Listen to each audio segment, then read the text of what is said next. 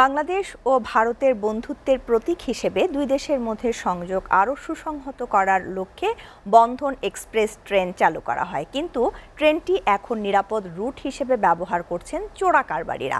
লাখ লাখ টাকার চোরাই মাল আটক করা হলেও বন্ধ হচ্ছে না চোরা কারবারি। বেনাপোল প্রতিনিধির পাঠানো তথ্য ছবিতে ডেস্ক রিপোর্ট।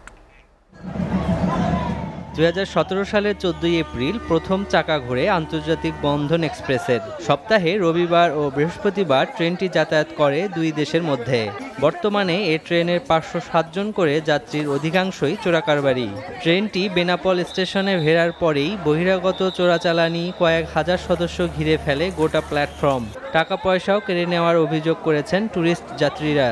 ইমিগ্রেশন সম্পূর্ণ না করেই প্রশাসনের চোখের সামনেই চোরাই পণ্য আদান প্রদান চলে।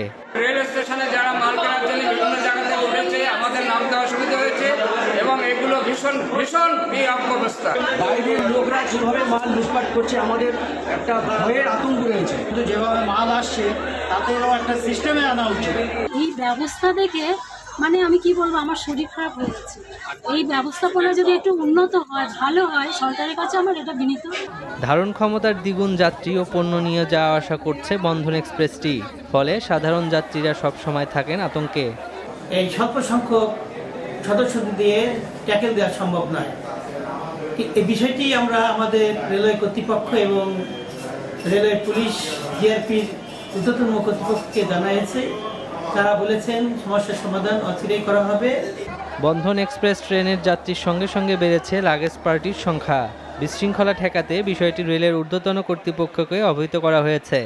এই রেলের যাত্রী বেশে প্রচুর চোরা কারবারিরা যারা এদেশ থেকে ওদেশে মালামাল পাচারের কাজে লিপ্ত তারা এবং তাদের সহযোগী বহিরাগতরা তারা হাজার হাজার লোক এসে রেল স্টেশনের মধ্যে তারা দখল করার চেষ্টা করে এবং আমরা চেষ্টা চেষ্টা করি যে বহিরাগতরা যাতে রেল স্টেশনে প্রবেশ করতে না পারে।